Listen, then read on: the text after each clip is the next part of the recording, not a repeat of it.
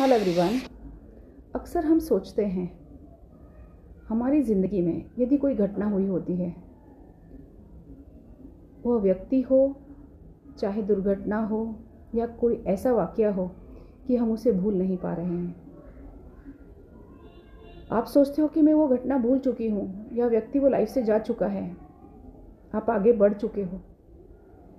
आप सही मायने में ज़िंदगी की परीक्षा तब होती है काफ़ी सालों बाद। यदि व्यक्ति आपके सामने आता है, या वो घटना आपके सामने होती है, उस घटना को देखकर, या उस घटना का ज़िक्र होता है, या वह व्यक्ति आपके सामने आता है, आप विचलित हो रहे हो, परेशान हो रहे हो, रो रहे हो, इसका मतलब आप अभी तक वह भूले नहीं हो, और आप कहते हो कि मैं लाइफ से आगे बढ़ चुका हूँ। नहीं, आप आगे नहीं बढ़े हो। यदि वह व्यक्ति आपके सामने आता है या दुर्घटना या घटना जो होती है आपके साथ, आप विचलित नहीं होते हो। आप सामान्य रहते हो।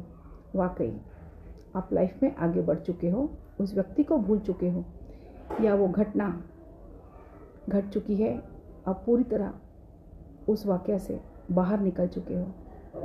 Thank you so much